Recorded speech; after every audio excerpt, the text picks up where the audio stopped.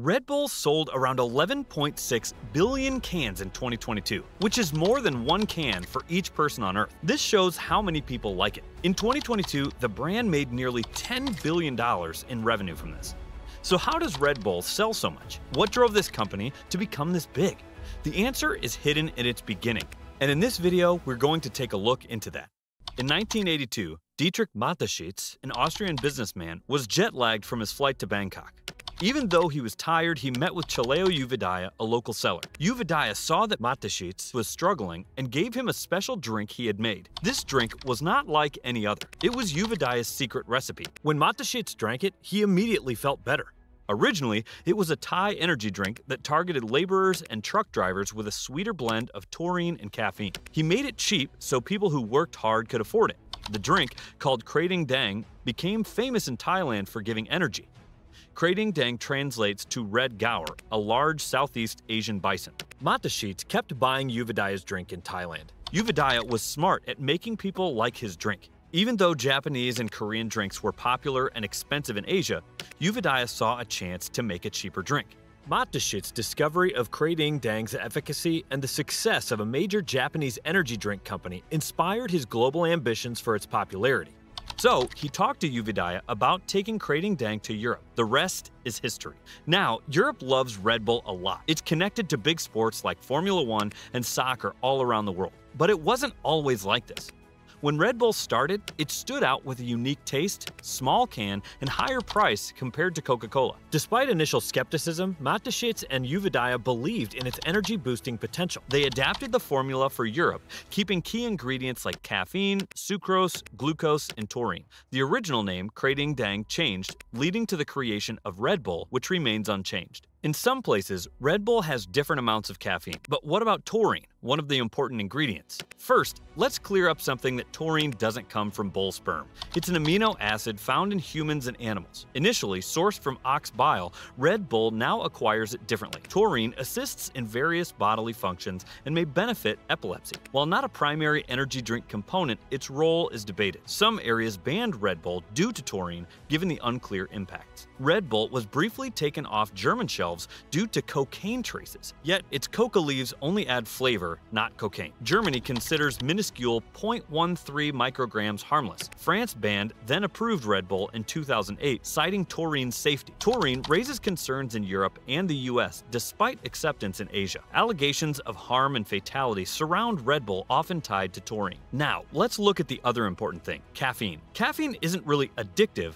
but it can make you want more. The good thing is that caffeine isn't as bad for you as some other addictive thing, but you can get used to having it. Using a regular Red Bull can as a reference, note that it contains as much or even more sugar than Coca Cola, along with significant caffeine and discussed taurine. The Red Bull gives you wings tagline implies energy, but can lead to hospitalizations. In 2014, a $13 million lawsuit challenged this slogan, alleging false advertising as a long term consumer found no athletic improvement despite it. Matt Mateschitz had big dreams beyond just making people happy with Red Bull. When Red Bull launched in 1987, he wanted it to be seen as a special and fancy product. The design of the can, the way it looked, and its high price made it seem luxurious. Initially, in Thailand, Krating Dang was consumed for energy. Mateschitz aimed to target wealthy, thrill-seeking Europeans, partygoers, skiers, and affluent students, offering more than coffee. Mateschitz's strategies included employing students to host Red Bull parties, distributing the drink widely, and branding cars as Red Bull minicars. These efforts led to the sale of a million cans in Red Bull's first year,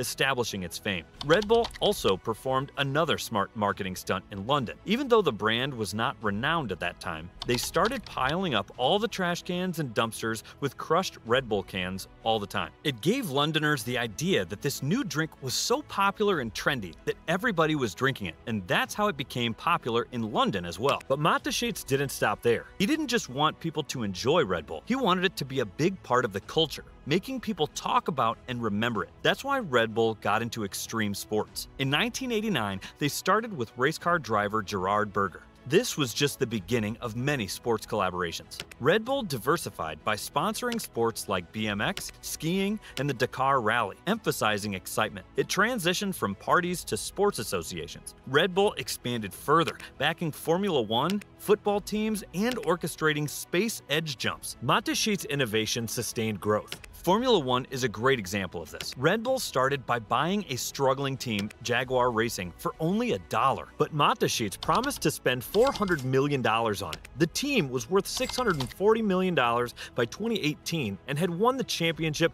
five times by 2021. This shows Mateschitz's big plan. Even though Red Bull started with drinks, now they have started developing their own Formula One engines. Red Bull already set up a factory for this purpose. Honda decided to provide support to the Red Bull racing team. Now, Red Bull is more than just a drink. They did something very daring and spent a lot of money, around $30 million, to send a person named Baumgartner to the edge of space and bring him back. They made a 1 minute 41 second video about it on their YouTube channel, and 47 million people watched it. That's a lot. After this, their sales went up by 7% in six months, and they got a big 13% increase in sales all around the world. Such an outstanding move.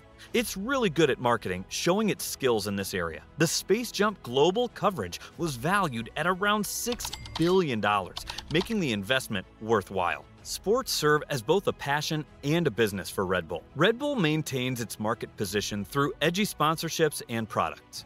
In 2019, they sold 7.5 billion cans, earning $6 billion. Consider RB Leipzig, a German team. Red Bull bought a fifth level team in 2009, invested heavily, and reached the UEFA Champions League in 2019.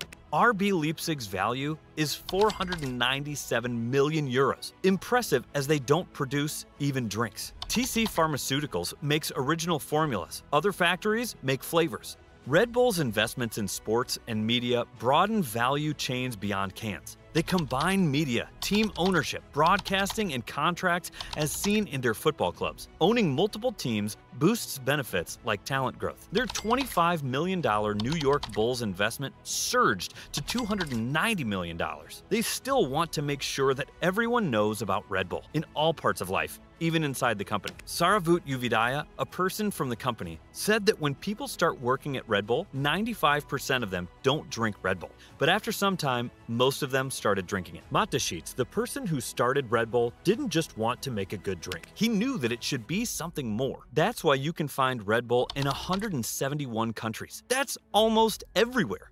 So, what lessons can you apply from Red Bull's story to your own ventures? How can you infuse your passion into your projects and create a lasting impact? Share your thoughts in the comments below. If you're hungry for more inspiring stories and business insights, don't forget to hit the subscribe button and ring the notification bell. Thanks for watching.